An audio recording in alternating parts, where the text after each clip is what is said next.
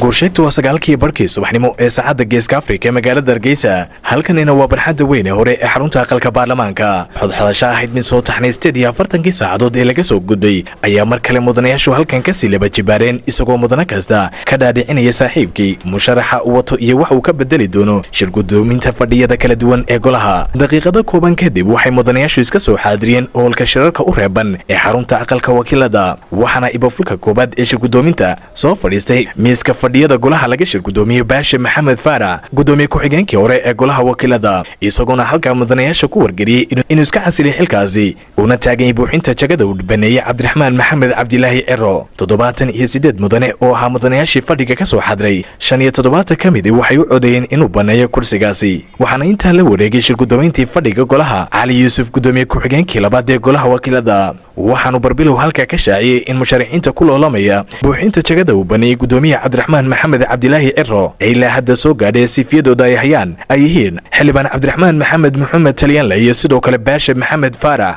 waxaana halkaa uu ogolaaday in daqiiqado kooban mid kasta uu soo bandhiga mudanayaasha sida dastuurku dhigayo. Waxa uu shirgudoominta fadhiga golaha ka bedeli doono haddii uu ku guulaysto.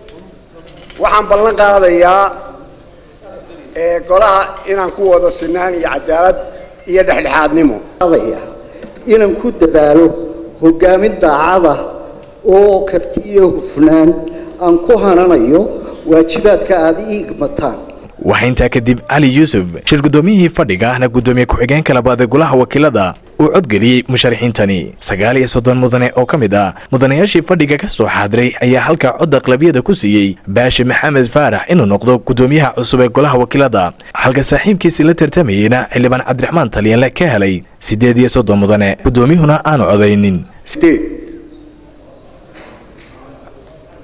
Baashe maxamed faarax soddon iyo sagaal sidaana ku dhaqangalay gudoomiyaha cusub ee golaha wakiilada. Waxaa xusitaankeeda gaarka a mudan in fadhiga golaha maanta muddo ku siman labiiyo toban sanno markii labaad. Marka laga reebo fadhigii ugu horreeyey ee golahan labadii kun iyo shantii ay yeeshaan laguna soo dooranayay gudoomiyaha cusub ee golahaasi yeelan doono oo mudane cabdiraxmaan maxamed cabdilaahi cero uu gacanta isku taagay iyadoo xilligaa fadhiga uu shir gudoominayey mudanihii ugu dahda weynaa allah u naxariistay marxuum xildhibaan dhaadheere. Uu soo fadhiistay goobaha loogu talagalay mudanayaasha golaha wakiilada cabdiraxmaan maxamed cabdilaahi cero gudoomiyihii hore golaha wakiilada oo ilaa hadda sii haya xilka xubinnimo ee golaha wakiilada isagoona codka saaka siiyey. Cabdiraxmaan talyaanle oo ku abtirsada xisbiga uu hogaamiyo ee waddani waxaa sidoo kale xusitaankeeda gaarka a mudan in mudanayaasha xisbiga waddani ku abtirsada saaka codkoodu meel maray. Halka mudanayaasha xisbiga kulmiyana ay ku kala qaybsameen oo qaarkood ay wateen. Xildhibaan cabdiraxmaan talyaanle oo ah musharax ku abtirsada xisbiga mucaaradka waddani.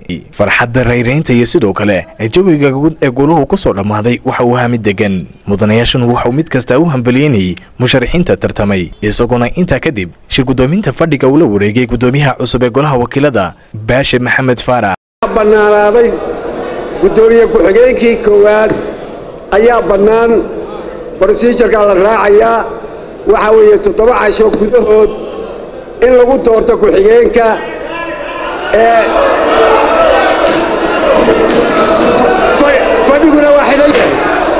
waxaana mudanayaasha ku wargeliyey inay u sameeyeen dhammaantood isagoona dhanka kala xusay in doorashada kursiga uu isagu badneeyey ee gudoomiye ku-xigeenka koowaad dib loogu dhigayo toddobaadka dambe. Waxaa intaa kadib tv-ga somaali cable u suurta gashay in dareenhaan uu wax ka weydiiyo musharaxiinta tartamay sida ay ula muuqato. Gudoomiye ku-xigeenkii hore kula tartamayey buuxinta jagadii shirgudoonka ka banaanaatay ee gudoomiyaha golaha wakiilada. Dareenhaan sida ay ula muuqato ayuu uga warramay somaali cable. Asalaamu calaykum. Maanta guul bay ahayd inaan isu soo taago anigoo ah murashax golaha wakiilada. Marka hore waxaan hambalyaynayaa saaxiibkay kolliigayga baashe maxamed faarax oo ay guushu raacday. Waxaan leeyahay hambalyo hambalyo hambalyo. Marka labaad waxaan hambalyaynayaa golihii noo kala codeeyey anigana igu doortay siddeed iyo soddonka. Isagana haldheeri coda oo sagaal iyo soddona ku doortay. Golahaana waxaan leeyahay hambalyo dimuqraadiyad gaamurtay oo maanta somalilan muujisay weeye. Labiyo toban sanaa kadib gudoomiyihii golaha wakiilada. Anigu sagaal iyo soddonka u diri maayo waxaan u dirayaa labiiyo siddeetanka xildhibaan ee golaha wakiilada. Wixii ii codeeyey waxaan ii codaynba waa caddeeyey waxa weeye waa golahaygii waa wada saaxiibaday labiiyo tobankaa sanaanu wada joogo. Dareenkayga waxa weeye waa caadi. Labiiyo toban sanaan joogo haddaan waayana dee in in igu filan waa joogay. Haddaan helana waa waa alxamdulilah marka dareenkaygu sidii buu ahaa. Saas gudoomiyihii hore golaha wakiilada ahna gudoomiyaha xisbiga mucaaradka wadani ayaa garabkiisa sii taagan oo xafiiska maanta isagu ku simaca salaameynaya saaxiibkii oo labiyo toban sano aysa soo garab fadhiyeen. Cabdiraxmaan maxamed cabdilaahi fariintiisa isagana iyo dareenkiisa maanta.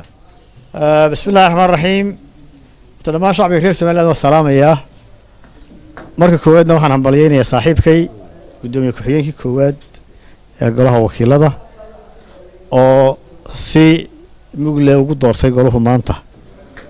Inuu yahay guddoomiyaha golaha wakiilada ee aniga bedelaya. Waxaan u rajaynayaa guddoomiyaha in ilaahay ku asturo xilkaas. Anna dee waa sii macasalaameynaya insha allah xil wareejintiina waa samayn doonaa. Xafladda xil wareejintana inta harsan baanu idinka odhan doonaa. Fadhigani maanta oo noqonaya mid taariikhiya islamarkaana noqonaya kii labaad ee intii uu jiray. Golaha wakiilada ee la soo doortay labadii kun iyo shantii ay markii labaad doortaan guddoomiye cusub oo hagi doona fadhiyadooda. Waana mid ka mid a astaamaha aan la hilmaami karin ee shacbiga somalilan iyo siyaasiyiintoodu ay ku soo canamaaleen muddooyin ku siman sannado badan in doorasho xor iyo xalaalay ku dhex marto. Goob fagaara oo dadku ay wada daawanayaan isqabsi iyo buuqna haba yaraatee uu ka reeban yahay oo faysal maxamed aadan faysal fifa t v-ga caalamiga somaali kebel magaalada hargeysa